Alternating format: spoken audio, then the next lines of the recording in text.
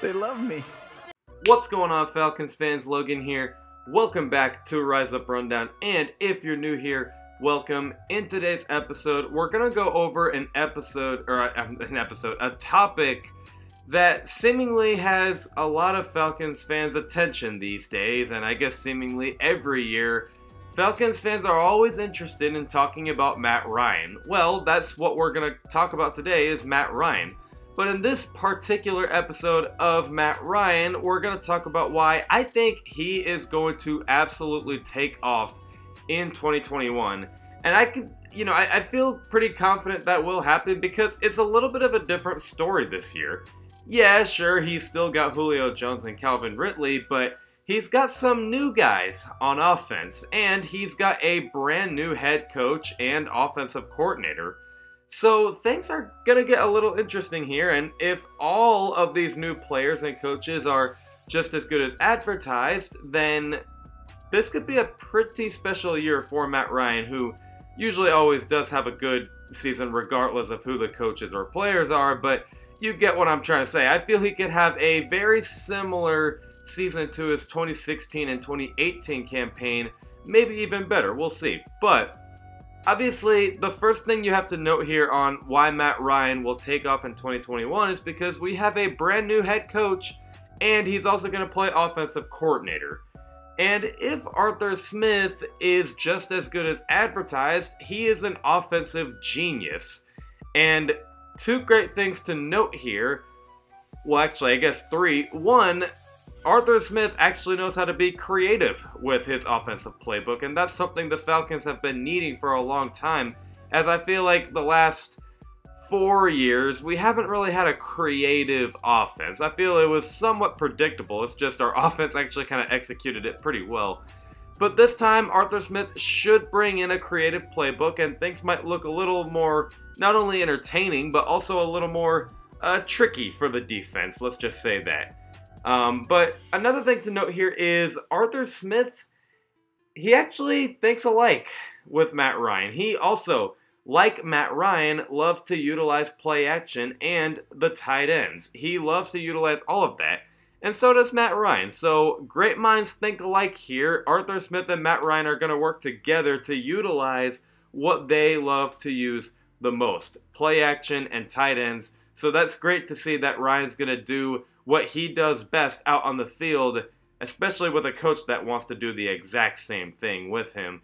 And then the last great thing to note here is uh, the last great thing to note here um, is Ryan seems to do really, really well with great coaches. Now, he does good really regardless of who he's with, but I'm talking like when he's with Kyle Shanahan, he just suddenly wins MVP and then say what you want about Steve Sarkisian, but I guess he's a good coach now because he's not only he, he not only had a good career in Alabama last year, but he also is officially a head coach now at the University of Texas. So I guess you could say Steve Sarkisian was a really good coach, but Ryan did really well with him in 2018 you get what I'm trying to say. When he's with really good coaches, he just takes off out of nowhere. Like it's it's kind of weird. Um, but if Arthur Smith is as good as advertised, this could be pretty interesting. The second thing I need to note here is we have some pretty good playmakers. Obviously, there's some familiar names like Julio Jones and Calvin Ridley who should still do what they usually do out on the field, and we also still have Hayden Hurst. But we have a new name, Kyle Pitts, the highest drafted tight end in NFL history. And if he is as good as advertised, which I think he is, um, yeah, you got yourself a freak of nature. Kyle Pitts is absolutely phenomenal. So you got Julio Jones, Calvin Ridley, and Kyle Pitts all a wide receiver number one if you want to say that Kyle Pitts is a wide receiver. People say Kyle Pitts is someone that can play wide receiver if he wants to because he's just that freaking good. So I guess you could say we have three wide receiver number ones on our team. And we also got some other good playmakers on the team as well. We got Russell Gage. We got a new receiver in Frank Darby who should do some good things for us. we got a really good receiving set here for Matt Ryan, and the O-line in front of him is actually pretty decent. So with Matt Ryan's protection and playmakers that are going to be out there and a good head coach, yeah, Ryan's, it seems like he's going to have himself a pretty good year. And maybe the last great thing to note here is maybe he might catch a break from time to time. And what do I mean by that?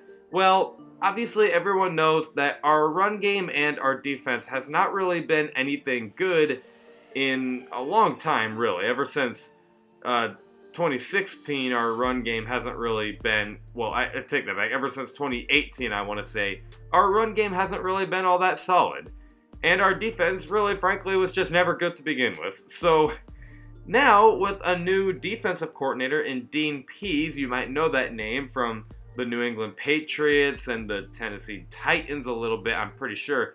Um, Dean Pees is, uh, if you look at his history, he's a proven defensive coordinator. He is coming out of retirement, so I hope he still kind of is done shaking off the rust there and he just kind of knows what he's doing. But I, I have trust that he does, and he should make this defense really good because there's actually some names on that defense that you can work with, like Grady Jarrett and Deion Jones and AJ Terrell, and some new names like Richie Grant and and I don't know if I said that right, but you get the idea. Richie Grant and um, I don't know why I forgot his name, but the guy from Darren Hall, I think that's his name, from San Diego State. He's got a lot of defensive players to work with, so Ryan doesn't have to be forced to just throw himself on the line and try to win for that team when the defense can't help him. Maybe Ryan will catch a break from time to time and get a break because the defense is actually doing their job.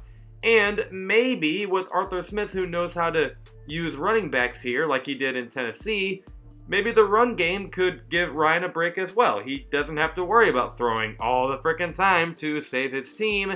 Maybe he could just hand it off and take a little bit of a break. We maybe need some better running backs with us, but if Arthur Smith knows what he's doing with the running backs, then I guess I will trust it. But those are my thoughts on that. Let me know what you guys think in the comments below. Other than that, I will see you guys with a video this Friday at 11 o'clock a.m. Eastern. Love and appreciate you all for the support. And as always, rise up.